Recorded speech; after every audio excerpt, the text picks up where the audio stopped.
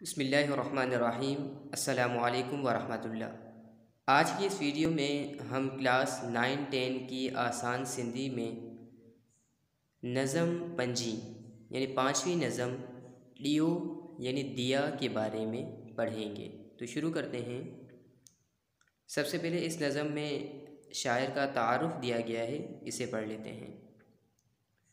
ही नज़म, सिंधी ज़बान जे बुलंद पाया शायर लेखराज किशन चंद अज़ीज़ जो चयल आहे। संदस शेर जो मजमूओ कुलियात अज़ीज़ जे नाले सां छपियल आहे। हू सुठो मज़मून नवेस ऐं नक़ाद बि हो। संदस मज़मूननि जो मजमूओ अदबी आइनो जे नाले सां छपियल आहे। अब इस तारुफ़ शायर का तर्जमा कर लेते हैं। ही नज़म सिंधी ज़बान जे बुलंद पाया शायर लेखराज किशन चंद अज़ीज़ जो चयल आहे। यानी ये नज़म सिंधी ज़बान के बुलंद पाया शायर लेखराज किशन चंद अज़ीज़ की लिखी हुई है। संदस शेर जो मजमू कुलियात अज़ीज़ जे नाले सां छपियल आहे, यानी आपके अशार का मजमू कुलियात अज़ीज़ के नाम से छपा हुआ है। हु सुठो मजमून नवेस ऐं नक़ाद ब हो, यानी वो अच्छे मजमून नवेस और नक़ाद भी थे। नक़ाद माहिर फ़न या परखने वाला या जांचने वाले को कहते हैं। संदस मजमून जो मजमू अदबी आइनों जे नाले सां छपियल आहे, यानी आपके मजमूनों का मजमू अदबी आईने के नाम से छपा हुआ है। अब इस नज़म के अशार पढ़ लेते हैं।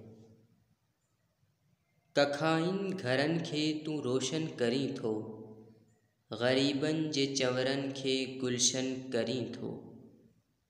लथे सिज अया पंहिंजो जो भन करी थो। शहर ताईं हर जा नशेमन करी थो। मज़ूरनि ऐं कुड़मियनि सां हमकार आहीं। फ़क़ीरनि जी मजलिस जो सींगार आहीं। सड़ी तूं ॿियनि खे ॾीं थो सुहाई। रखियल तो में केॾी न आहे चंगाई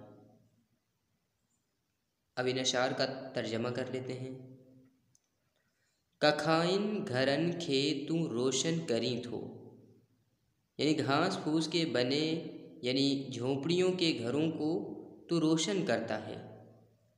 गरीबन जे चवरन खे गुलशन करी थो। यानी गरीबों की झोंपड़ियों को तो गुलशन, यानी आबाद करता है।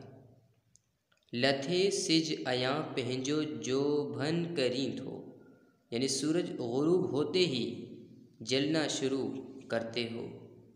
शहर ताई हर जा नशीमन करी थो यानी सुबह होने तक हर जगह तू नशेमन करते हो। मज़ूरन ऐं कुड़मियन सां हमकार आहीं। यानी मज़दूरों और किसानों के साथ हो तुम। फ़कीरन जी मजलिस जो सींघार आहीं। यानी फ़कीरों की महफिल की जीनत हो तुम। सड़ी तू बियन खे डी थो सुहाई। यानी जल कर दूसरों को रोशनी देते हो तुम। रखियल तो में केडी न आहे चंगाई। यानी सरापा नेकी के पीकर हो तुम। परे खां मुंझल जी करी रहनुमाई। दिया तो में आहे सरासर सचाई सचो दोस्त दुश्मन ते दिलसोज़ आहीं। सचाई सां सब जो शब अफ़रोज़ आहीं। मदद ॾी थो कमकार में तूं बा मेहनत। ॿरण साण तुंहिंजे थे दफ़ा ज़ुल्मत। न पंहिंजे पराए जो धारी तफ़ावत। रखी कल्ब में कान कंहिं डान कदूरत। अब इन इशार का उर्दू तर्जमा कर लेते हैं। परे खां मुंझियल जी करी रहनुमाई, यानी दूर से भटकते हुए की करते हो रहनुमाई। दिया तो में आहे सरासर सच्चाई, यानी चराग तुम में सरापा हद सच्चाई है। सच्चो दोस्त दुश्मन ते दिल सोज आही. यानी सच्चे दोस्त तुम दुश्मन पर भी असरअंदाज हो. सच्चाई सा सब जो शब अफरोज़ आही. यानी सच्चाई से सब की रातें रोशन करते हो. मदद दी तो कमकार में तुम बा मेहनत यानी मददगार हो तुम मेहनत करने वालों के. बरण साण तुझे थे दफ़ा जुल्मत। यानी जलने से तुम्हारे अंधेरा दूर हो जाए। न पहजे पराए जो धारी तफावत। यानी अपने पराए में फ़र्क नहीं रखते हो। रखी कल्ब में काना कह डान कदूरत। यानी अपने कल्ब, यानी दिल में किसी के लिए नफ़रत नहीं रखते हो। सादत जो बेशक तू आही सितारो, दिया तू थो लाही जहाँ ता अंधारो। हवा साण सर लाट जो थो झुकाई, थो नूड़त कंदे पंहिंजी जीवत बचाई।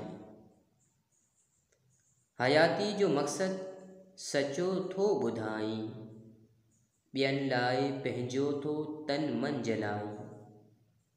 जली जे बियन खे सहाऊ ॾियनि था।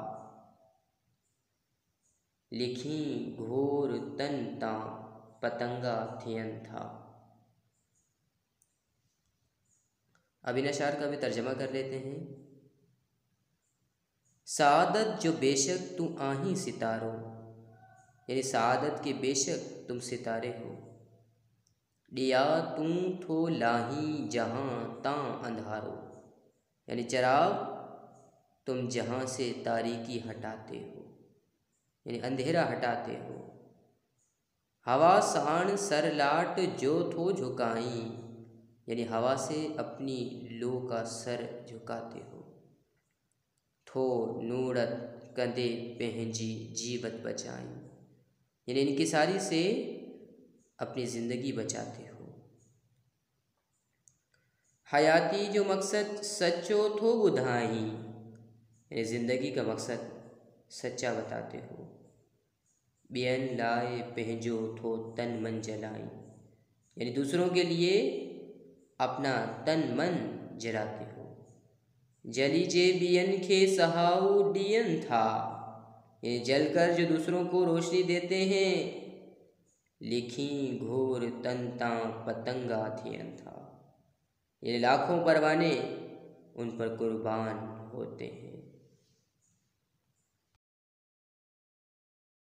आज के इस लेक्चर में अगर आपको कोई बात समझ ना आई हो या किसी लफ्ज़ का मतलब माना या उर्दू तर्जमा ना आ रहा हो तो आप कमेंट्स करके मुझसे पूछ सकते हैं।